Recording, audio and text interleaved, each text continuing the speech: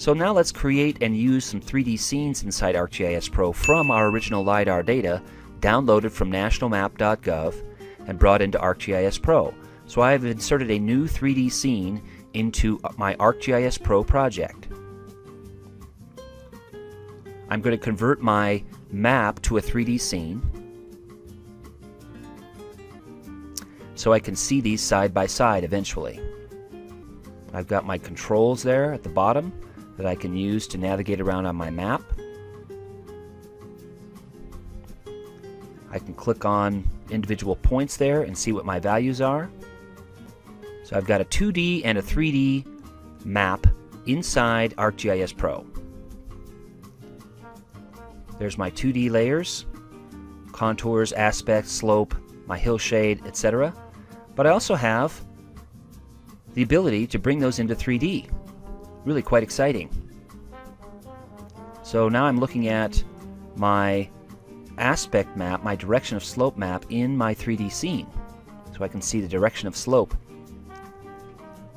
There's my contours draped on top of a satellite image which is coming from ArcGIS Online. So you've got seamless desktop and accessing of the cloud information so that satellite image is not resident on my local device. It's actually coming in from ArcGIS Online, which is really quite amazing. And you've got access to all the living atlas layers and other things, the thousands and thousands and thousands of other layers inside ArcGIS Online. So I can zoom out now and see the edge of the Grand Valley, which is my study area here. Really amazing be to be able to do this. I can take a look all the way into Utah and all the way up into northwest Colorado with my study area. Alright, so let's zoom back down to our study area itself and take a look at that in our 3D scene. Ooh, so now I can really see the data that I generated, all from the LiDAR data. This all came from LiDAR, with the exception of the satellite image, of course, that came from ArcGIS Online. Taking a look toward the northeast now.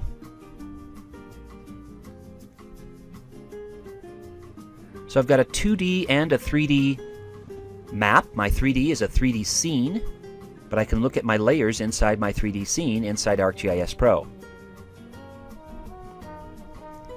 Taking a look at my slope layers, my hillshade on top of the satellite image.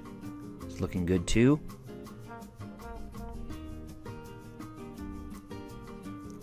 Let's change the base map to a topographic base map now. This is the World Topographic Base Map.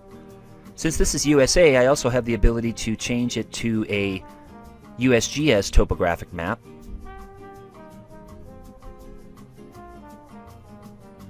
It's not one of the preset base map choices, but I can go ahead and add data and use the Add Data button. And I can go to All Portal, which means ArcGIS Online, and I can search for USA Topo, which is the USGS topographic maps. I can see that choice right there at the top, and I can say OK, and I'm going to get my USGS topographic maps now as a base map. Very nice. Oh, there they are. Great. That's looking really good. There's Mount Garfield, which is off to the south east of my actual study area. But now I can see the topographic maps at different scales 1 to 24,000 scale if I zoom in, 1 to 100,000 scale if I'm zoomed out just a bit at a larger, or sorry, a smaller scale, and then smaller scale still, if I zoom out just a bit more, I'm going to get the 1 to 250,000 USGS topo topographic maps, all from that uh, seamless streaming in from ArcGIS Online. Very nice. There's the 1 to 100,000 scale if I zoom out just a little. So I can see the Grand Valley and my study area off to the northeast there along the Book Cliffs. So there's the Grand Valley, and zooming out you can see a little bit of the 1 to 250,000 and there's a 100,000 scale USGS topo maps. Excellent.